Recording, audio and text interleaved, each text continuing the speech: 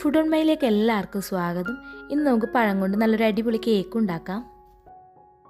അപ്പോൾ ഞാൻ ഈ കേക്ക് ഉണ്ടാക്കുന്നത് നേന്ത്രപ്പഴം ഉപയോഗിച്ചിട്ടാണ്. നല്ല പഴുത്ത രണ്ട് നേന്ത്രപ്പഴം എടുത്തിട്ടുണ്ട്. ഇനി ഈ പഴത്തിന്റെ ഉള്ളിലെ കുരുവൊക്കെ കളഞ്ഞ് ചെറുതായി കട്ട് ചെയ്തെടുക്കണം.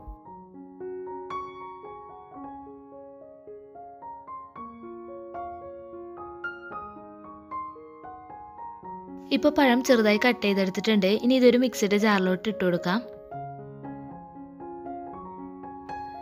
ഇനി ഇതിലേക്ക് ഒരു കപ്പ് പഞ്ചസാര കൂടി ചേർത്ത് കൊടുത്ത് രണ്ടും കൂടി നന്നായി അരച്ചെടുക്കാം. വെള്ളം ചേർക്കാതെ വേണം അരച്ചെടുക്കാൻ.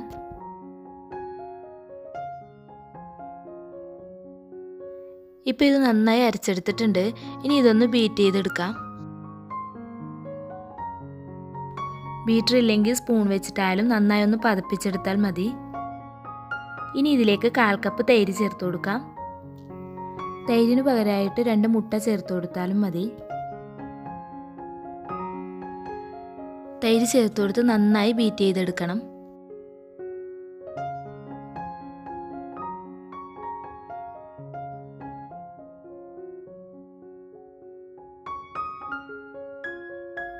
ഇനി ഇതിലേക്ക് അരക്കപ്പ് ബട്ടർ ചേർത്ത് കൊടുക്കാം. ബട്ടറിന് പകരമായിട്ട് ഓയിൽ ചേർത്ത് കൊടുത്താലും മതി.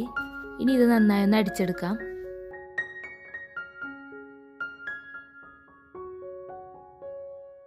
ഇപ്പോൾ ഇതെല്ലാം കൂടി നന്നായി അടിച്ചെടുത്തിട്ടുണ്ട്. ഇനി ഇത് മാറ്റി വെക്കാം.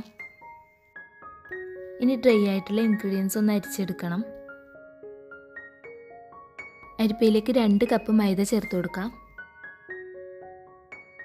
അര ടേബിൾ സ്പൂൺ ഉപ്പും അര ടേബിൾ സ്പൂൺ ബേക്കിംഗ് പൗഡറും കൂടി ചേർത്ത് കൊടുക്കാം. ഇനി ഇതിലേക്ക് ഒരു ടേബിൾ സ്പൂൺ ഏലക്കായ് പൊടിച്ചതും കാൽ ടേബിൾ സ്പൂൺ ബേക്കിംഗ് സോഡയും കൂടി ചേർത്ത് കൊടുക്കാം. ഇനി ഇതെല്ലാം കൂടി നന്നായി അരിച്ചെടുക്കണം.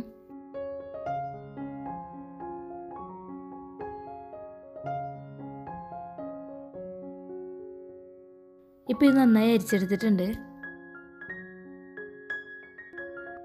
ഇനി നേരത്തെ ഉണ്ടാക്കി വെച്ച പഴത്തിന്റെ മിക്സിലോട്ട് ഒരു ടേബിൾ സ്പൂൺ വനില എസൻസ് ചേർത്ത് കൊടുക്കാം.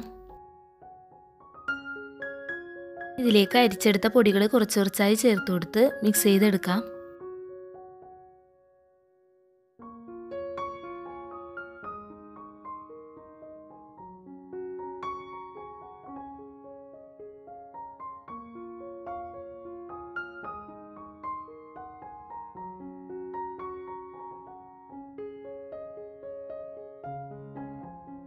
ഇത് മിക്സ് ചെയ്യുന്ന സമയത്ത് ബാറ്റർ നല്ല തിക്കായി വരും. അപ്പോൾ അതിലേക്ക് കാൽ കപ്പ് പാലൊഴിച്ച് കൊടുത്ത് ഒന്ന് മിക്സ് ചെയ്തെടുക്കാം.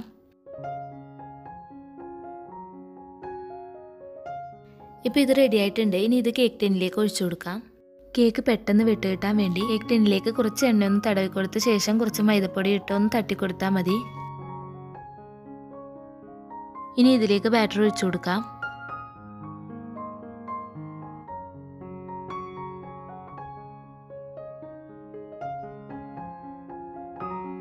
ഞാൻ ഇതിന്റെ മുകളിലേക്ക് കുറച്ച് കാഷ്നട്ട് ഇട്ട് കൊടുക്കുന്നുണ്ട്. ഇത് ഓപ്ഷണലാണ് നിങ്ങൾക്ക് ഇഷ്ടമുണ്ടെങ്കിൽ മാത്രം ചേർത്ത് കൊടുത്താൽ മതി.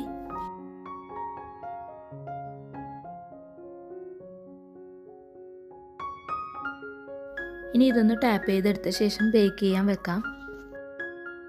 അപ്പോൾ ഞാൻ മുമ്പ് കേക്ക് വീഡിയോസ് ചെയ്തിട്ടുണ്ട്. അതിൽ ബേക്ക് ചെയ്യുന്ന പോലെ തന്നെയാണ് ഈ കേക്കും ബേക്ക് ചെയ്യുന്നത്.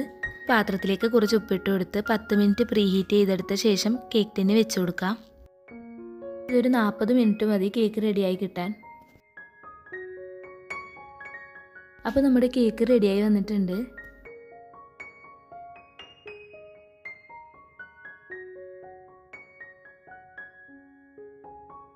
പഴുത്ത പഴം കൊണ്ട് വളരെ പെട്ടെന്ന് തന്നെ തയ്യാറാക്കിയെടുക്കാൻ പറ്റിയൊരു കേക്കാണിത്. നല്ല സോഫ്റ്റും അതുപോലെ തന്നെ നല്ല ടേസ്റ്റി ആയിട്ടുള്ള ഈ കേക്ക് ഇതുവരെ ട്രൈ ചെയ്യാത്തവരുണ്ടെങ്കിൽ ഒന്ന് ട്രൈ ചെയ്ത് നോക്കണം.